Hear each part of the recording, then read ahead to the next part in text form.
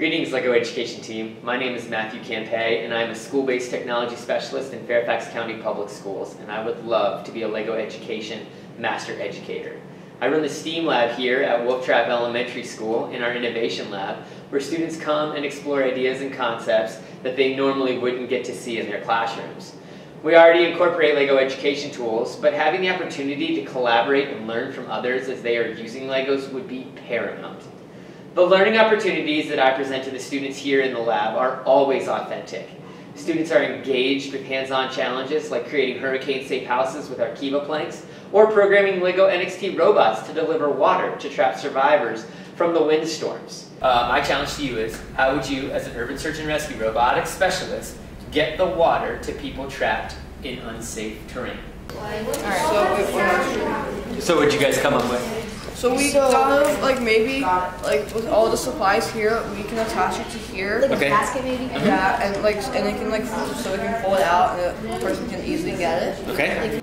I believe that children are learning best and open to taking risks when they're having fun. Every student at Wolf Trap is different.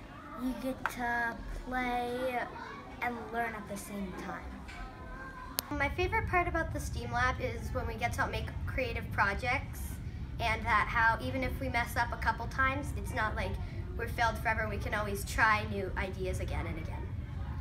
So I strive to make every learning opportunity accessible to every student by creating multiple avenues for them. I want every student to feel comfortable when they step foot in my classroom so that they can take risks. One of the cornerstones of the Innovation Lab here is failing. F-A-I-L, or first attempt in learning, is something that every student knows about and is comfortable with. We often learn better from our failure than our successes and work together to solve problems. Mr. Campet has created a very innovative space here in our innovation lab.